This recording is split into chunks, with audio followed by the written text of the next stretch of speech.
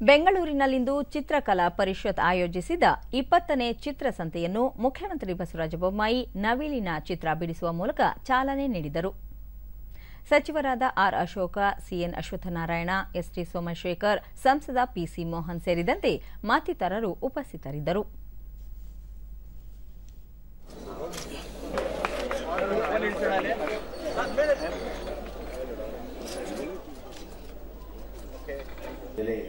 ಬಳಿಕ ಮುಖ್ಯಮಂತ್ರಿ, ಉತ್ತರ, ದಕ್ಷಿಣ ಕರ್ನಾಟಕ ಸೇರಿದಂತೆ ರಾಜ್ಯದ ಮೂರ್ನಾಲ್ಕು ಕಡೆ ಚಿತ್ರಕಲಾ ಪರಿಷತ್ತಿನ ಪ್ರಾದೇಶಿಕ ಕೇಂದ್ರಗಳನ್ನು ತೆರೆಯುವಂತೆ ಸಲಹೆ ನೀಡಿದ ಅವರು, ಕಲಾವಿದರು ಬೆಂಗಳೂರಿನಿಂದ ಹೊರಬಂದು ತಮ್ಮ ಕಲೆಯನ್ನು ರಾಜ್ಯದ ಉಳಿದ ಭಾಗಗಳಿಗೂ ಪಸರಿಸಬೇಕು.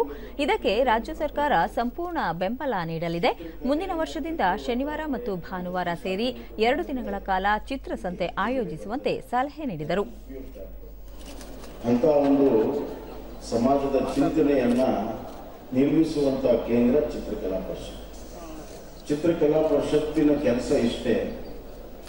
ಒಳ್ಳೆಯ ಕಲಾವಿದರಿಗೆ ಒಂದು ವೇದಿಕೆಯನ್ನು ಕೊಟ್ಟು ಅವರ ಚಿತ್ರಕಲೆಯನ್ನ ಅಭಿವ್ಯಕ್ತ ಮಾಡೋದಕ್ಕೆ ಒಂದು ಶಿಸ್ತುಬದ್ಧಾದಂಥ ವ್ಯವಸ್ಥೆಗಳನ್ನು ಮಾಡುವಂಥದ್ದು ಒಂದು ಕಡೆ ಆದರೆ ಇನ್ನೊಂದು ಕಡೆ ಸಾಮಾನ್ಯ ಜನರಲ್ಲಿ ಚಿತ್ರಕಲೆಯ ಬಗ್ಗೆ ಆಸಕ್ತಿ ಆ ಭಾವನೆಗಳನ್ನು ತಿಳ್ಕೊಳ್ಳುವಂಥ ವಿಧಾನ. ಇವು ಎರಡನ್ನೂ ಕೂಡ ನಾವು ಮಾಡುವಂತ ಪ್ರಮುಖ ಕೆಲಸ. ಇದೇ ವೇಳೆ ಅವರು ಚಿತ್ರಸಂತೆಯಲ್ಲಿ ಕೆಲವು ಚಿತ್ರಗಳನ್ನು ಖರೀದಿಸಿದರು.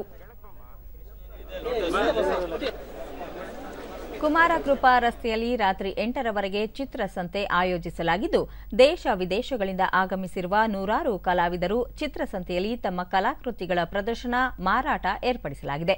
ಚಿತ್ರಕಲಾ ಪರಿಷತ್ತಿನ ಕಲಾ ಗ್ಯಾಲರಿಗಳಲ್ಲಿ ಪ್ರಶಸ್ತಿಗೆ ಭಾಜನರಾಗಿರುವ ಕಲಾವಿದರ ಕಲಾಕೃತಿಗಳ ಜೊತೆಗೆ ಮೈಸೂರಿನ ಸಾಂಪ್ರದಾಯಿಕ ಶೈಲಿಯ ಕಲಾಕೃತಿಗಳು ತೊಗಲು ಬೊಂಬೆ ಪ್ರದರ್ಶನಕ್ಕೆ ವ್ಯವಸ್ಥೆ ಮಾಡಲಾಗಿದೆ. ವಿಶೇಷ ಚೇತನರು ಹಾಗೂ ಹಿರಿಯ ಕಲಾವಿದರಿಗೆ ಪರಿಷತ್ತಿನ ಆವರಣದಲ್ಲೇ ಕಲಾಕೃತಿ ಪ್ರದರ್ಶನಕ್ಕೆ ವ್ಯವಸ್ಥೆ ಮಾಡಲಾಗಿದೆ.